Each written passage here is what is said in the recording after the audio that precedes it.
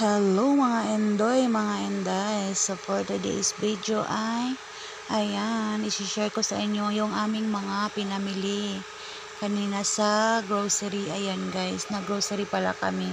Kaming lahat kasama ang buong pamilya. So ayan guys, share ko lang sa inyo.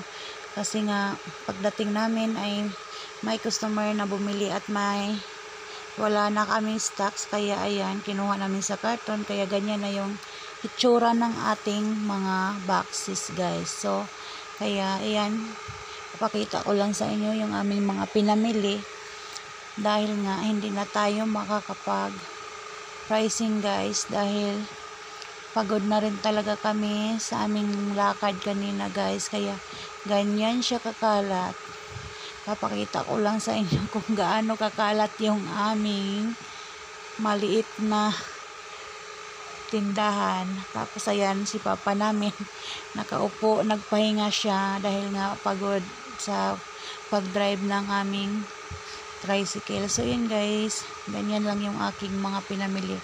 Ngayon pala guys ay medyo marami yung ating pinamili dahil nga medyo matagal tayong hindi nakapag-grocery at hindi rin nakapadeliver ng groceries. So, yan. Pag meron kasing sobra sim partner sa kanyang sahod, guys, ayan, ay nakakapag-grocery kami dagdag dito sa aming maliit na tindahan. Ayan. Kaya ngayon, medyo marami tayong stocks, guys. At medyo matagal na naman tayo ulit makapag-grocery. Ayan, kahit matumal po ang ating tindahan ay kahit papaano, mayroon tayong mga stocks guys dahil hindi naman po siya agad-agad masisira kung hindi mabinta. At saka yung aming ibang paninda guys ay dito na rin namin kinukuha yung aming mga pangangailangan.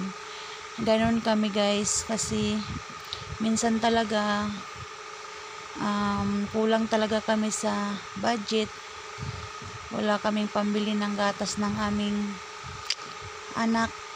Ay kinukuha talaga namin dito sa aming maliit na tindahan. So iyon pagkasahod ng aking partner ay parang inaabunuhan lang namin siya guys. So ganyan lang guys yung aming pamawalakad sa aming maliit na tindahan Ayan, importante guys, kapag meron kaming kailangan, ay meron kami agad makukuha. ba diba, guys?